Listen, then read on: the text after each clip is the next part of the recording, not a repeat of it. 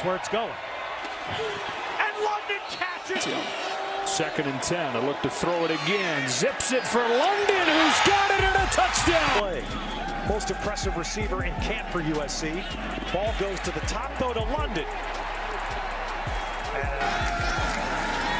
Slovis. To the near side. London elevates. College athletes. Slovis on first, putting it up there for London again. And look at London. Just make. London has the catch. London hurdles inside the 10. early in the game with six and change remaining until halftime. And they flood the zone for London. Drake London touchdown. Ingram the setback. Slovis again with time winding down right to the marker. Four-man rush. Slovis's pass is caught over the top. From the 43, Junior Slovis throws it towards London. In between the Yards on that play, first down.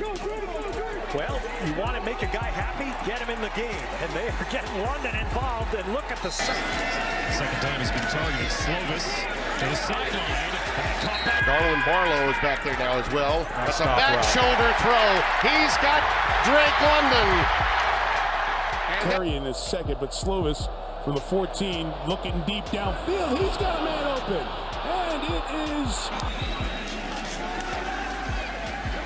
And throwing one for London. Letting London make the play. Dedich now in the left guard spot. Barlow stays in the block. To the end zone again for London, who makes the kick. They get a little bit of breathing room. Looks to throw again. Lets it fly for London, and he puts it right where he wants it. It's London for the from the 47. A look to throw again.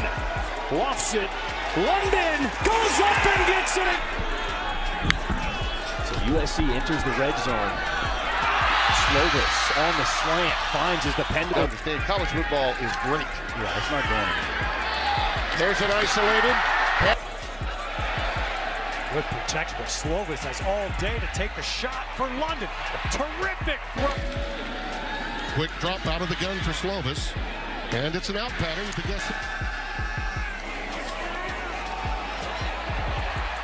London. Five-yard line after a 53-yard punt for the opposing quarterback. Slovis taking a shot. It's London.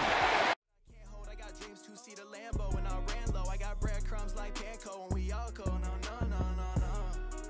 Hop in the whip, it's pouring. Raindrops in the morning, yeah.